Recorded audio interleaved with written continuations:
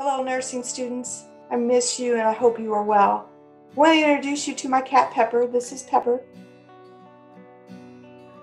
We want to share with you how he helped me through my doctorate study.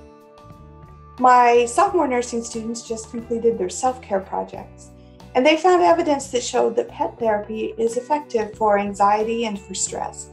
And I can tell you from personal experience that this is true. I never would have made it through a doctorate degree without Pepper.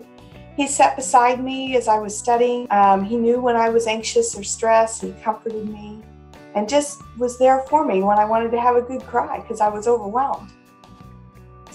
Um, so maybe you have a furry friend that's helping you through this pandemic and helping you study um, as you are doing your online classes. Pepper and I would like to share with you a couple pictures.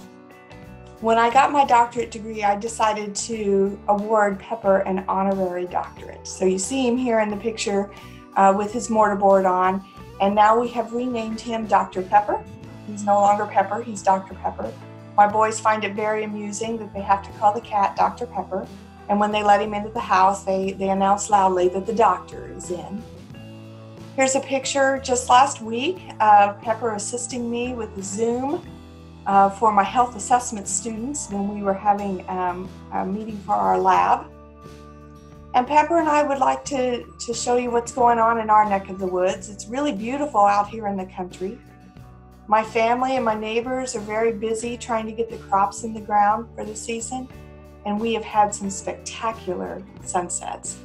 So I hope this message brought you some joy, uh, brightened your day. Good luck on your exams. I know you're going to be doing, you're going to do fine. You got this.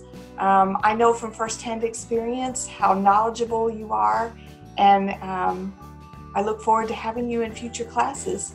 Take care.